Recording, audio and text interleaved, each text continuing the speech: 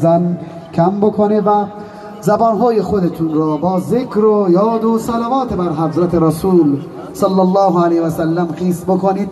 چون شب شب جمعه است و و به گفته خود حضرت رسول صلی الله علیه و سلم که میفرماید من صلی علی مرتا صلی الله علیه بها عشرا کسی که یک بار بر من درود بفرستد خدا بر او ده بار درود میفرستد. با افتخار و امتنان در این قسمت از برنامه تقاضا می کنم از استاد عزیز و معتمد محل ما جناب شیخ محمد صالح پردل که در جایگاه قرار بگیرند و دقایق در خدمت این بزرگوار باشیم با بیاناتی که خواهند داشت. برای اینکه جناب شیخ هم بله بله. خب تو این شروع انشالله که گم نشدن و دارن میچرخن. دختر دو نیم ساله ای زارا از مادرش جدا شده در این دوره بر عزیز رو دیدید که یا گریه می‌کنه یا اینو دیدید حتما به قسمت زنان انشاءالله مراجعه بکنن. جناب شیخ در خدمت شما هستیم. و صلوات رو خط بفرمایید. اجماع صلوات الله سلام. الله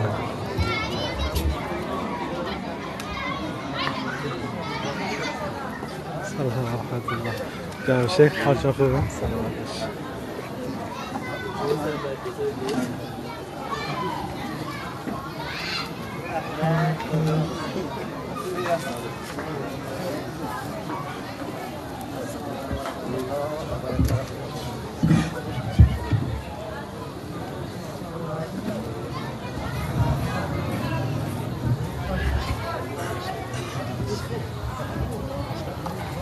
أعوذ بالله من الشيطان الرجيم. بسم الله الرحمن الرحيم. الحمد لله والصلاة والسلام على رسول الله وعلى آله وأصحابه ومن والاه اما بعد السلام علیکم و الله تعالی و برکاته خداوند تبارک و تعالی رو بسیار سپاس گذاریم و تشکر می‌کنیم به خاطر همه نعمتهای خوب و مفید و توفیقات ارزشمند و گرانبهایش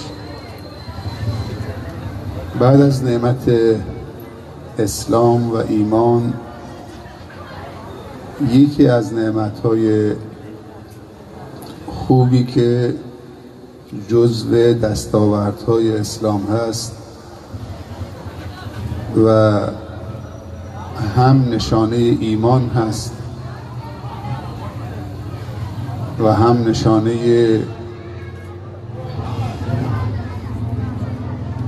تسلیم شدن در قابل امر خداوند و هم نشانه راضی شدن به رضای خدا و راضی شدن به سنت رسول خدا صلی الله علیه وسلم همین ازدواج هست.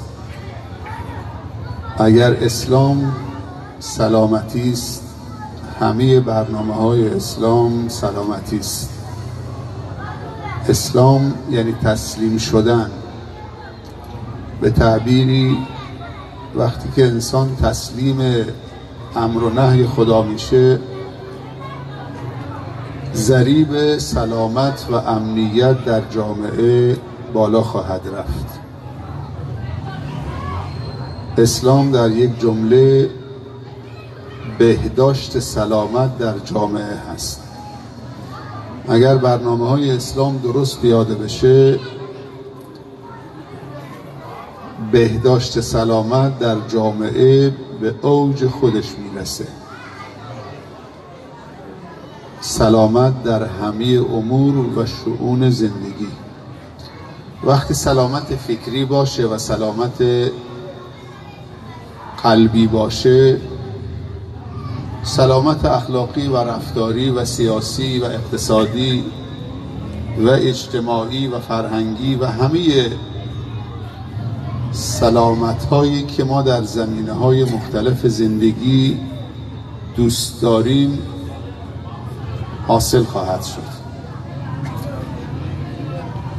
پس همه رفتارهای خوب ما نتیجه افکار و نوایای خوب ماست.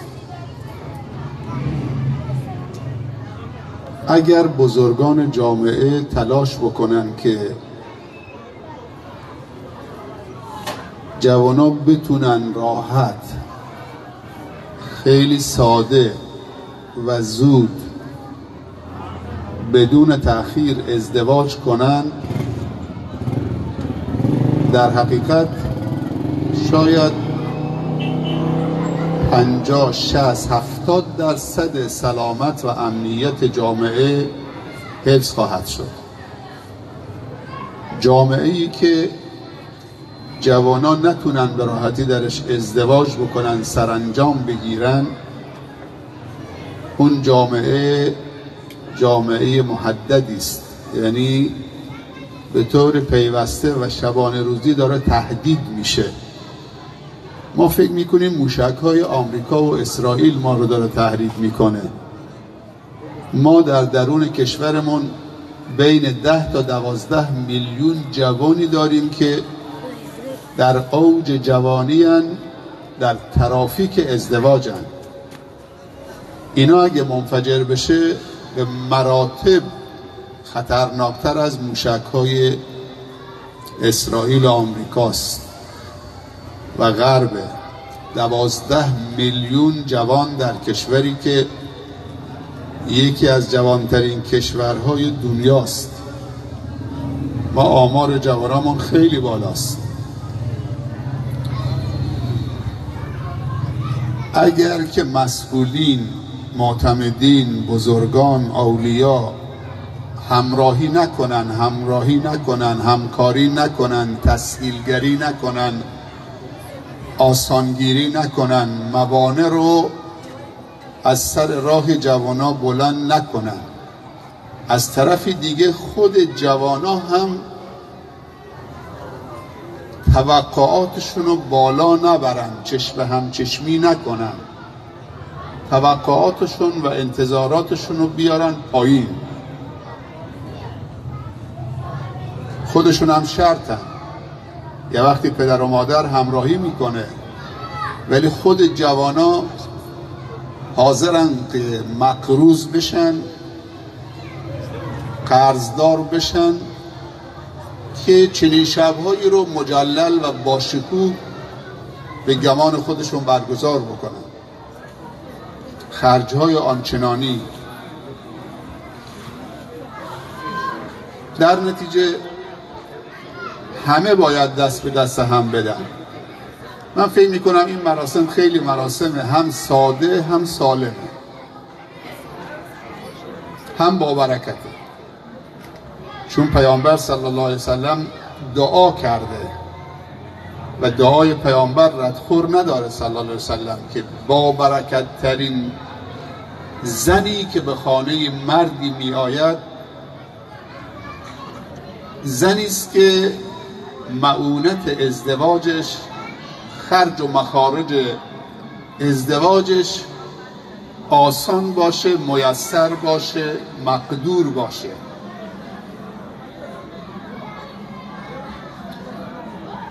پیامبر دعای برکت کرده.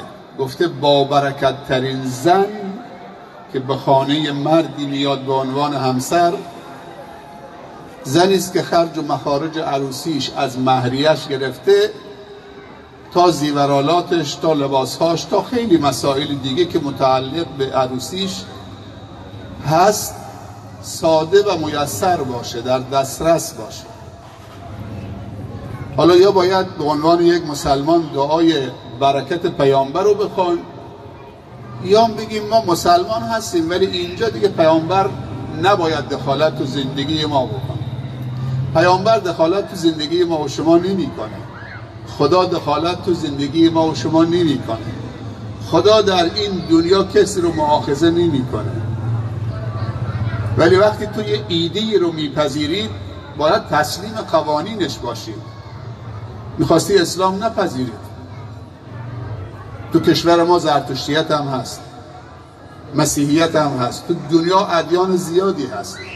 لا اکراه فی الدین.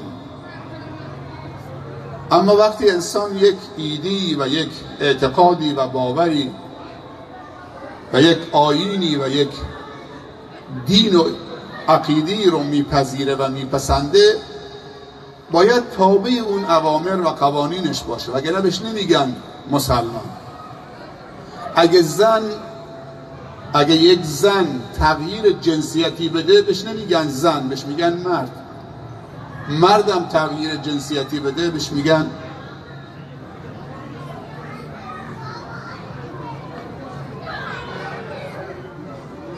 پس باید تابع اون مقررات باشید شما وقتی می‌خوای ماشین رو بخرید یا یک لوازم صوتی بخرید یا یک دستگاهی بخرید برای خانه.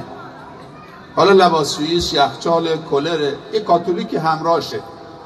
یک دفترچه همراهشه نحوه استفاده از اینو تذکر داده و گفته اگر غیر از این دستورالعملی که تو این کاتولیک تو این دفترچه هست پیاده بکنید این دستگاه میسوزه.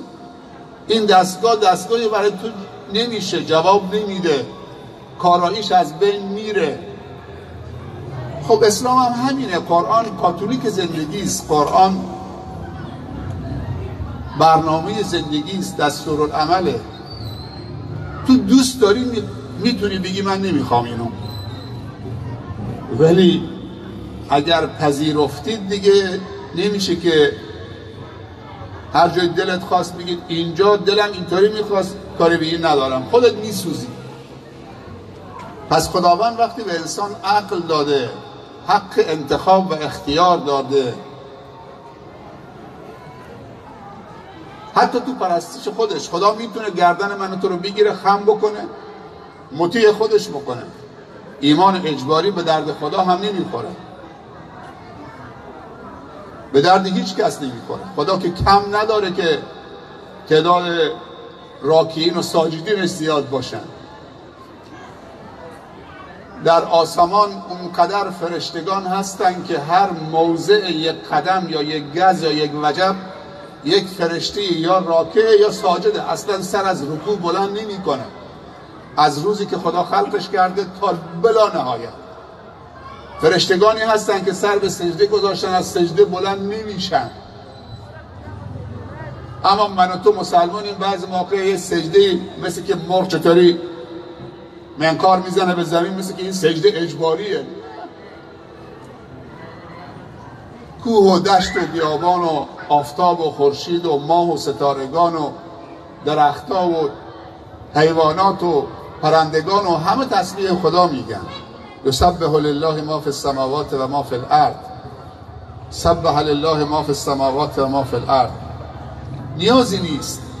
ما داریم نیاز خودمون برآورده می‌کنیم. منت سر خدا نگذاریم که ما مسلمونیم بنده تویم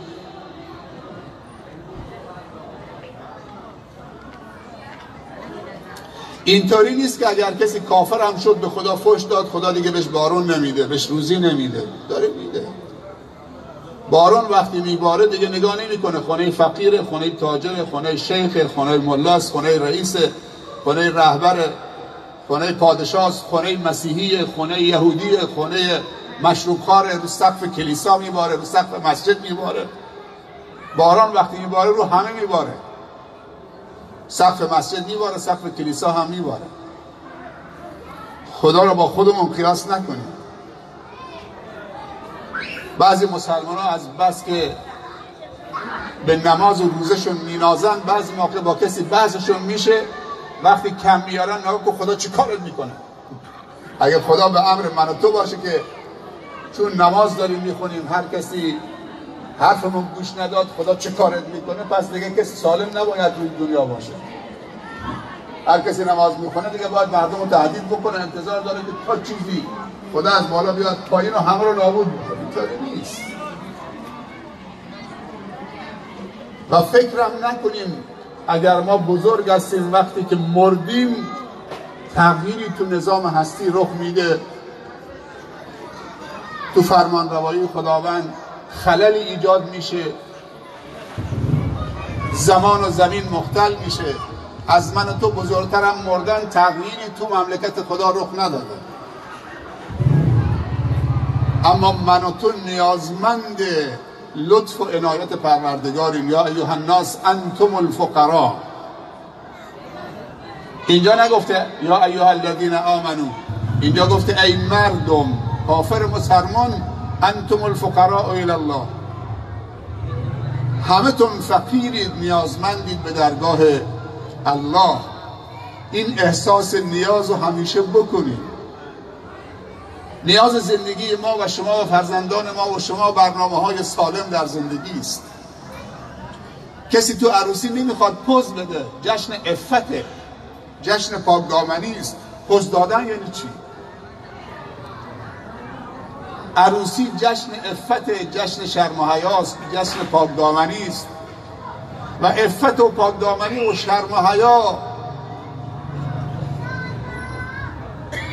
تواضع به همراه داره. عربده کشیدن تو عروسی ها شراب خوردن چشم کردن چاکو کشیدن معصیت کردن اصلا همخونی نداره با جشن افت خیلی عجیبه. جوان ها ازدواج می‌کنن که آرام بگیرن به افت برسن ولی تو عروسیشون شراب می‌خورن. ام الفساد ام الخبائث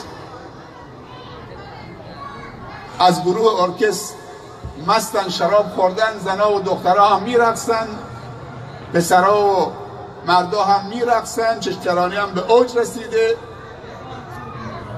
خانواده عروس می‌خواد روی خانواده داماد کم بکنه. با پول پراکنی و خانواده داماد هم می‌خواد روی خانواده عروس کم بکنه.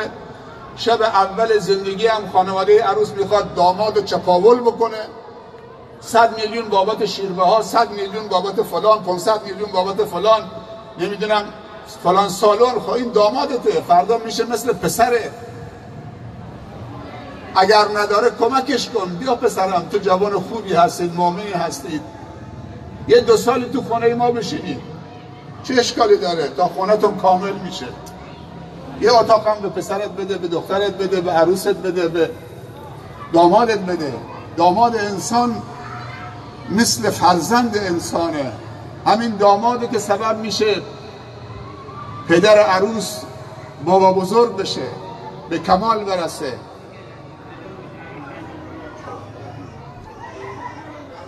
همین عروسی که میاد تو خانواده سبب میشه پدر و مادر شوهرش پدر بزرگ بشن مادر بزرگ بشن. پس عروس مثل دختر انسانه داماد هم مثل پسر انسانه. این چپاول ها چیه مهریه هزار سکه. می‌خوای زمانت بگیرید برای دخترت که طلاقش نده؟ نه اول خونه و آپارتمان به اسم دخترم بزن و ماشین تا من این چه زمانتی است. زمانت همون دو کلمه هست که خونده میشه. به نام و یاد خدا این دختر من چه به عقد فلان شما با این مهریه. علا برکت الله دو تا شاهدم امضا می‌کنه تموم شد و رفت. حتی اگه چیزی هم نوشته نشه. این دفترچه ازدواج و محضر و ثبت و فلان اینا که قدیم نبوده دو تا شاهد بوده و همون کلمه بوده. این مراسم چقدر زیباست. چقدر ساده است. چقدر پاکه چقدر خوبه چقدر بی تکلفه 20 هزار نفر در کشور ما در زندانن به خاطر عدم پرداخت مهریه. آمار طلاق و ازدواج تقریبا در سال برابر هم داره میشه. سالانه بین 700 تا 800 هزار ازدواج در کشور صورت می‌گیره. الان فکر می‌کنم پایین تر آمده شاید 600 هزار. ازدواجی که باید مثل آب خوردن باشه خیلی راحت. چقدر معقد و پیچیدش کردن که کسی جرأت نمی‌کنه نزدیک ازدواج بشه.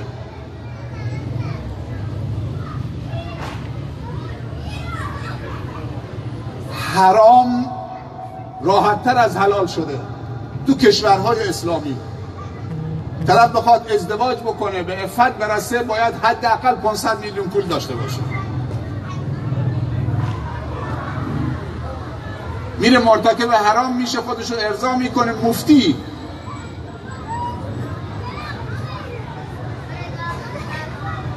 شاید با پنجاه هزار تومن خودشو بره ارضا بکنه. بیرحم نباشیم نسبت به بچه هامون بچه هامون هم توقعشون بیارن پایین. اگر سالم با ادب با اخلاق خانواده اصیلی محترمی معدبن خانواده آبرومندیه دختر و پسر مؤمنی هستند سالم هستند اجتماعی هستند خدوم هستند در جامعه. بده دیگه. شرط و شروط نگذار. یه وقتی یه پسر جوانی رفته بود پیش یک عالمی گفته بود جناب شیخ یک زنی می‌خوام که گردنش اینطوری باشه صورتش اینطوری باشه رنگ پوستش اینطوری باشه موش اینطوری باشه ساق پاش اینطوری باشه مالش اینطوری باشه سوادش اینطوری باشه خانوادهش اینطوری باشه یک ده پونزه تا ویژگی رو گفته بود. گفت پسرم سوال تمام شد تقاضات خواسته ها ویژگی ها تمام شد. گفت بله. گفت اگه همچین زنی پیدا کردید خبر من بکن. کجا پیدا میشه همچین زنی که سی چل تا ویژگی داشته باشه. اگه ایمان داره سلامتی تو جسمش داره تو فکرش داره معلول ذهنی نیست فکرش مختل نیست بدنش سالمه. خانواده با ادب و با اخلاقی هن. تحصیلاتشون خوبه. ایمانیاتشون خوبه. یه گردنش اینطوری باشه موش اینطوری باشه فردا کچل میشه میره. امروز سرطان کمین گرفته. شرط و شروط اضافه نذاریم. بذاریم سلامتی و فرما باشه.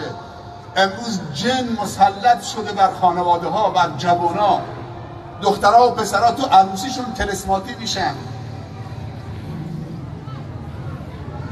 خانواده ها دارن جن زده میشن تلسماتی میشن. چرا؟ به خاطر همین شرط و شروط های عجیب و غریبه اماکنی که جن و شیاطین می‌تونن اونجا بازیگر خوبی باشن و حضور پررنگ داشته باشن و عرض اندام بکنن و خانواده ها و دخترها و پسرها رو و مردا و زنا رو مختل بکنن اماکنی است که در اون بتونن فساد بکنن یکی عروسی های مبتزله یکی بازار هاست یکی کاباره ها و بارها و رقاص خانه هاست. در این اماکن بیشترین تسلط جن بر انسان هاست. امروز چقدر تلسماتی زیاده. تازه عروسی کردن عروسیشون اینطور لمس معلوم شده. تو وقتی ترس از خدا نداشته باشید ضعیف میشید. قدرت مقاومت با این جنها و شیاطین نمی‌تونید بکنید. برید آمار طلاق رو نگاه بکنید. ازدواج های اینترنتی و ازدواج های فلان و و و. تو یک روستا قبلا تو یک استان شاید در سال یک مورد طلاق نبود. الان تو یک روستای دو هزار نفری در یک سال سی مورد طلاق بوده. زیر دو سال ازدواج دو سال ازدواج کردن از هم سیر شدن. چون هشت سال نامزاد بودن. پنج سال نامزاد بودن حلقه دستشونه. یا پنج سال تو عقد بودن. دیگه حرفی نمونده. هر حرفی بوده تو پنج سالی که نامزاد بودن همه جا رفتن. شیراز رفتن دوبی رفتن مالازی رفتن ترکیه رفتن با یه حلقه نامزادی حالا می‌خوان ازدواج بکنن دیگه چیزی نمونده. دیگه حرفی نمونده حرفاشون تمام شده. تحمل همدیگه ندارن. بلا فاصله چه کم میارن منجر به طلاق میشه. می‌خواد ازدواج بکنه داماد بشه خواستگاری رفتید. امروز عقدشون ببندید هفته دیگه چه؟ یا عقد و ازدواج و مراسمشون یه شب باشه. بعد از اصل عقدشون ببندید شب مراسمشون برگزار بکنید. تمام شد رفت. برن سرانجام بگیرن. اگه دخترتو دوست دارید اگه شش ماه و یک سال و دو سال طول کشید عقدش قطعا منجر به طلاقه آینده ای ندارن اینقدر مراجعه می‌کنن دخترم تلسماتی شده پسرم تلسماتی شده روانی شده هر دکتری می‌برم همینه دیگه. جن برات مسلط شده شیاطین برات مسلط شده. و انه کان رجال من الانس یعودون به رجال من الجن فزادوهم رهقا. ما حتی رفتن به بیت الخلا هم دعا داریم با پای چپ میری داخل دعای ورود به بیت الخلا چون حمام ها تو خونه و توالت ها محل تواجد شیاطین هستن. خانه های نوی که متروکه هست. تو یه خانه درست بکن یک سال توش نرو. محل حضور جن میشه و شیاطین. اماکن نجاست. گفتم توالت ها حمام ها کشتارگاه ها زبال دونی ها جایی که نجاست باشه. جایی که بتونن فساد بکنن. در خانه های متروکه. فرقی نمی‌کنه نو باشه یا کهنه باشه. امروز جن و شیاطین هجوم آوردن به خانه ها هجوم آوردن به شهرها. زمین داره براشون تنگ میشه میان تو کم کم صحرا و دشت همه داره ساخت و ساز میشه. یکی از اماکن وجود جنها و شیاطین دشت ها و کبیر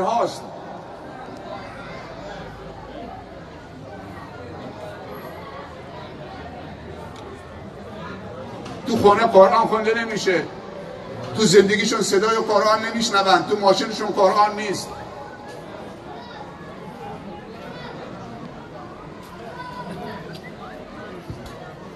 بچه سوم چهارم ابتدایی ازش سوال می‌کنن پیغمبر تو کیه؟ مسلمانه.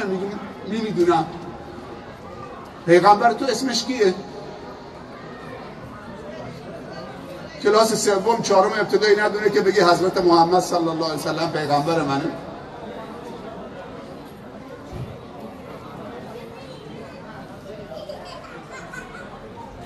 واقعا جای تاسفه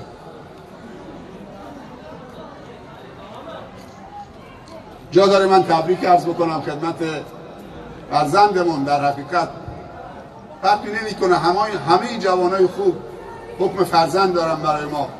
حالا چه از طایفه باشن چه دورتر باشن همه طایفه ما هستن. همه اقوام ما. انما المؤمنون اخوه برای محمد طاهر عزیزمون و همسر محترمشون آرزوی مزید توفیق. توفیق پیدا کردن تا اینجا. هم عقد و هم خواستگاری و هم مسائلش خیلی ساده. و الحمدلله. محمد طاهر نمازی مسئول کمیته بهداشت و درمان انجمن خیریه خاتم النبیین سروس داماد عزیزم. داماد امشبمون مسئول کمیته بهداشت و درمان انجمن خیریه خاتم النبیین سروس مریضایی که هستن مراجعه می‌کنن کارهای دکتریشون انجام میده. بدون یک قران بدون هیچ چشم داشتی. از جزیره از خمیر از اطراف بیماران صعب العلاج توی داروشون پیدا می‌کنه. این طرف رو بزن اون طرف رو بزن. همراهی می‌کنه با مریض نوبت براشون می‌گیره.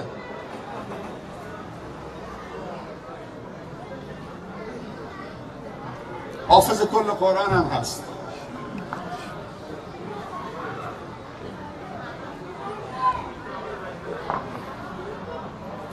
دعا می‌کنیم خدا مزید توفیق نصیبش بکنه. به توفیقاتش بیافزاید. توفیق داره ولی خدا به توفیقاتش بیافزاید.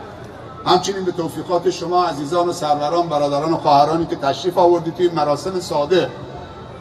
تو کوچه هم باشه حالا حتما باید بره سی میلیون سالن بده. کوچه هست اینجا سالونه این همسایه ناراحته یا این همسایه ناراحته یا این همسایه ناراحته یا اون همسایه ناراحته؟ هیچ کس ناراحت نیست. همه خوشحالم این کوچه عمومی مال همه است. خداوند مزید توفیق برای مزید بندگی و خدمتگذاری به خانواده و جامعه نصیبش بکنه و همچنین همه شما در این دعا سهیم باشید و خداوند شما را هم مزید توفیق برای مزید بندگی عنایت بفرمایند امشب مهمانان عزیزی از جاهای دور و نزدیک اینجا تشریف دارن. برادرمون از جزیره خارک آمدن. دیداری داشته باشن با علمای منطقه. دیشب یا دیروز دیشب تو جزیره بودن و دیگر دوستان می‌بینم مهمان های عزیز از راه دور و نزدیک آمدن. قدم همتون مبارک باشه و قدم همتون سبز و با برکت باشه. خداوند انشالله همیشه خیر سر راه شما و خانوادتون و فرزندانتون و خیشاوندانتون و همه کسانی که دوستشون دارید سبز بشه در همه امور و شعون زندگی سربلند و آبرومند و روسفید و خاتمه به خیر و حسن خاتمه نصیبتون بشه. خاتمه به خیر بشید. بگید آمین.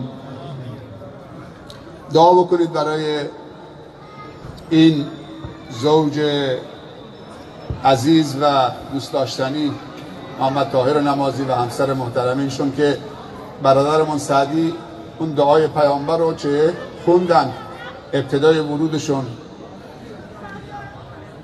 که خدا بین این دو عزیز همدلی و همفکری و جمع بکنه و خدا بهشون برکت بده.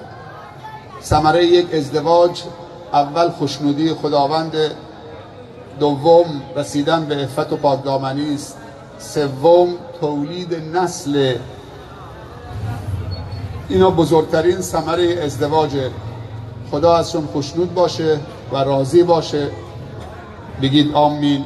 دوم ثمره این ازدواج به عفت و پاکدامنی برسن. بگید آمین.